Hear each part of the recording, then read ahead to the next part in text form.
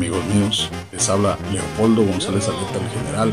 les manda un afectuoso saludo, un abrazo, muchas bendiciones a todos los fans y gente bonita que nos sigue por las redes sociales. Muchas gracias.